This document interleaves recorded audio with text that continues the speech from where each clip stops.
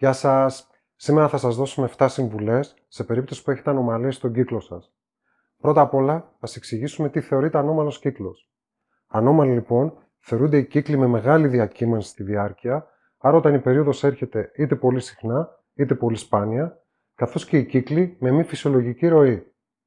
Σε περίπτωση που σας συμβαίνει κάτι τέτοιο, να ξέρετε πως περίπου το 30% των γυναικών θα εμφανίσει ανομαλία στον κύκλο κάποια στιγμή στη ζωή τους. Α μιλήσουμε τώρα για το τι μπορεί να προκαλέσει ανομαλίες στον κύκλο μιας γυναίκας. Πιθανές αιτίες περιλαμβάνουν το στρες, ορμονικές διαταραχές, υποκείμενες παθήσεις όπως το σύνδρομο πολικιστικών οθικών ή διαταραχές στη λειτουργία του θηροειδή, καθώς και ακραίες μεταβολές στο βάρος, η έντονη άσκηση ή ακόμα και διατροφικές συνήθειες. Είναι πολύ σημαντικό να καταγράφετε τις περιόδους σας, καθώς αυτό θα σας βοηθήσει να εντοπίσετε κάποια ανομαλία.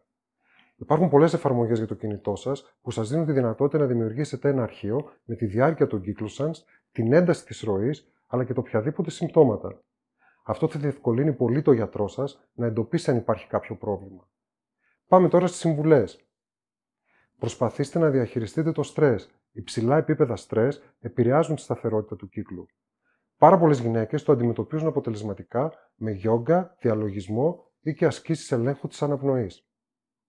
Αλλάξτε τις διατροφικές σας συνήθειες. Μια υγιής και ισορροπημένη διατροφή με έμφαση στα προϊόντα ολικής και ελάττωση της ζάχαρης, καθώς και της χρήσης επεξεργασμένων τροφίμων, θα βοηθήσει στη ρύθμιση των επιπέδων ινσουλίνης και θα συμβάλλει στην ομαλοποίηση του κύκλου, ειδικά σε περιπτώσεις συνδρόμου πολικιστικών οθικών. Η συχνή άσκηση, εκτός από τη βελτίωση της σωματικής και πνευματικής υγείας, μπορεί να οδηγήσει και σε καλύτερη ορμονική ισορροπία και τελικά σε σταθεροποίηση του κύκλου. Διατηρήστε το σωματικό σας βάρος στα αποδεκτά επίπεδα για το ύψος και την ηλικία σας. Πολύ ψηλό, αλλά και πολύ χαμηλό σωματικό βάρος επηρεάζει τη σταθερότητα της περίοδου.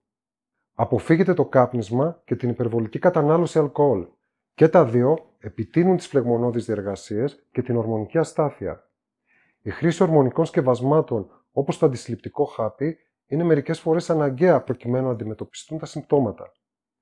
Μιλήστε με τον γιατρό σας για να εντοπίσετε την πραγματική αιτία αστάθειας στον κύκλο σας και να ακολουθήσετε την ενδειγμένη για κάθε περίπτωση αντιμετώπιση.